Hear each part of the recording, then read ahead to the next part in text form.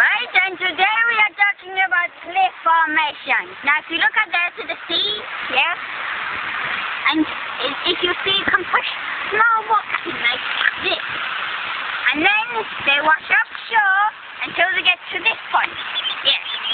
And then after you put them. Right. Otherwise, they catch up and compact and sand goes inside and makes it. now, I'm sure that he's shooting me, but if he does, I'll most probably get squished by stones. Do it, do it, do it, do it, do it, do it. It just doesn't work. God, don't. Oh, oh dear. Oh, oh. This is bad. I think so. Oh, oh, yeah. Yeah, that was a discovery to learn how cliffs are formed. And this is how cliff erosion happens. Someone gets a big bastard stone, and they throw it at it, and it all falls down.